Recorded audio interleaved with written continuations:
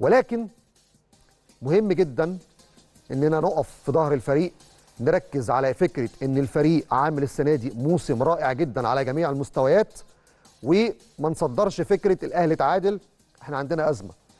يعني بطل إفريقيا بالبطولات اللي كسبها دي كلها هو إن شاء الله بطل للدوري العام. في فرق السنة دي كانت بتنافس الأهلي في البطولة الإفريقية لم تفوز بالدوري في بلدها. يعني اللي كان الطرف اللي بيواجه الأهلي في نهائي إفريقيا الوداد. دور الأبطال وخسر الدوري المغربي.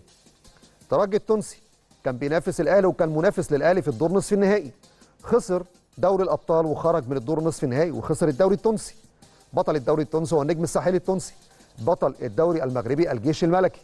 طيب المنافس اللي كان مع الأهلي في دور الثمانية الرجاء الرياضي المغربي. خسر دوري الأبطال وخرج على يد الأهلي وكمان بنسبة كبيرة ممكن ما يتأهلش للمسابقات الإفريقية الموسم المقبل في حال خروج الرجاء من الدور نصف النهائي في كأس العرش. فأنت السنة دي الأهلي على المستوى المحلي والإفريقي بيقدم موسم استثنائي. مفيش فريق فاز بالبطولة الإفريقية والبطولة المحلية إلا النادي الأهلي. قدر يجمع كل البطولات السنة دي. عمل ثلاثية. بنتكلم في الكاس والسوبر وإن شاء الله الدوري كمان أهو السنة دي. فأنت بتتكلم في نتائج كلها مميزة. ربنا يكرم إن شاء الله الفترة الجاية وتكون يعني فترة جيدة عشان نبدأ نستعد للموسم الجديد. وأنا بأكد لكم من دلوقتي وعايزين تاخدوها عنوان خدوها على مسؤوليتي الشخصية.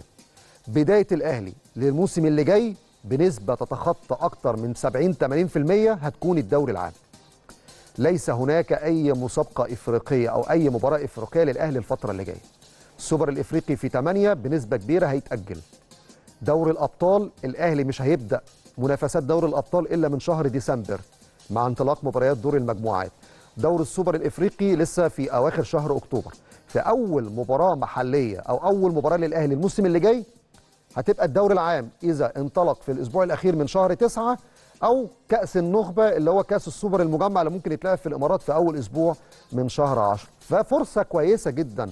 عندك شهر 8 بالكامل ممكن يبقى إجازة ممكن نص شهر 7 يبقى إجازة للتشكيلة الأساسية والعناصر الأساسية وعندك كمان أول أسبوعين من تسعة. فأنت بتتكلم في فترة شهر ونص شهرين ممكن تدي فيها راحة سلبية ثلاث أسابيع وتعمل فترة إعداد جديدة عشان تخوض الموسم القادم بتحديات صعبة جدا وهتبقى أنت الفريق الوحيد اللي داخل المسابقات الإفريقية بإعداد علمي وبدني وفني ممتاز عكس كل الفرق.